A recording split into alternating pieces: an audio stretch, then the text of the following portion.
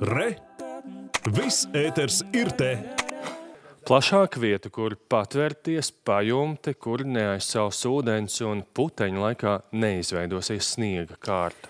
Pēc vairāk nekā trīs mēnešu darbošanās blakus robežu punktam Grebņeva brīvprātīgie ierīkojuši apsildāmo telti, kur Ukraiņiem pēc garā ceļa patvērties. Un, lai gan sākotnēji brīvprātīgie to lūdza zemesardzei, šodien uzslieta privāti ziedota telts. Kāpēc tā? Stāsta Dinija Iemeļjānova. Sniegā un salā tikko kā robežu šķērsojušajiem un caur Krieviju no kara bēgošajiem Ukraiņiem brīvprātīgie līdz šim palīdzību sniedza divos traileros un vēl oktobrī uzstādītajā teltī. Vietas nav daudz. Viss tas cieši novietots šaurā zemes strēmelē starp ceļa malu un brauktuvi, pa kuru garās rindās stāv vieglie auto, kravas auto un busi, kuros Ukraiņi dodas tālāk, pārsvarā uz Varšavu. Kamēr viņi sagaida pārējos pasažierus, tikmēr ārā ir augsti, ir jāsasildās, vienkārši fiziski jāsasildās. Maziem bērniem slapji apavi, slapji apģērbi.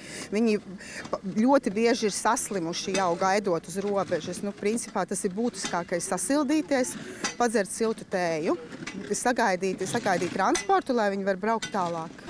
Šodien ap palīdzības punktu neierasti skaļa rosība.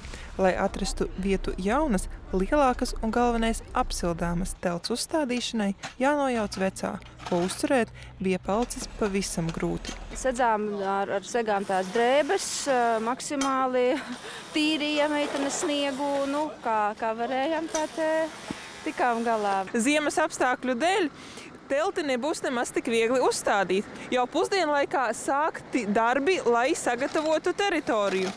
Un tajos iesaistījušies arī rindā gaidošie šoferi. Ieraudzīju, ka jūs te tēju dodat. Cilvēki laipni, tāpēc vajag palīdzēt. Kā gan citādi?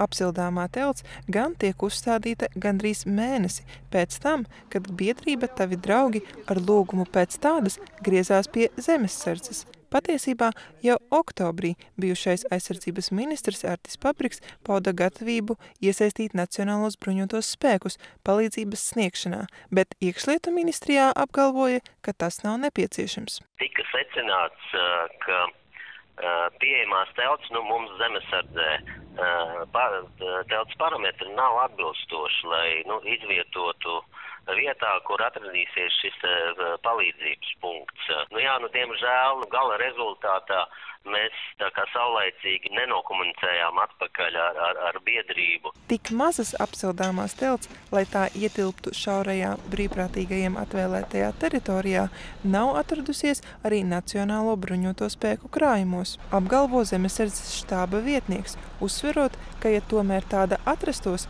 birokrātisku vai juridisku šķēršļu to nodot nebūtu problēmu. Tas būtu iespējams arī nedēļas laikā. Saprotot, ka arī šoreiz būs jāiztiek bez valsts pārvaldes palīdzības, biedrība sāka citīgāk meklēt un atrada citu variantu. Līdz ar to meklējām caur privātpersonām vai caur uzņēmumiem, un viens cilvēks mums atsaucās, kurš pagaidām ir šo telti iedevis bezatlīdzības lietošanā. Nu, tad tik ilgi, cik būs vajadzīgs, tad tāda telta arī 5x5 metri armi, armijas vajadzībām atbilstoši. Tādu arī mēs izmantosim. Pēc jaunā gada biedrība plāno līdzīgu palīdzības punktu izveidot arī Terehovā. Vēl tāds izveidots arī Silenē. Iekšlietu ministrijā neprecizē, kā tieši atbalstītas biedrības, kas šādi darbojas, taču informē, ka kopumā nevalstisko organizāciju atbalstam palīdzības sniegšanā Ukraiņu civiliedzīvotājiem šovasar novirzīti 310 tūkstoši eiro.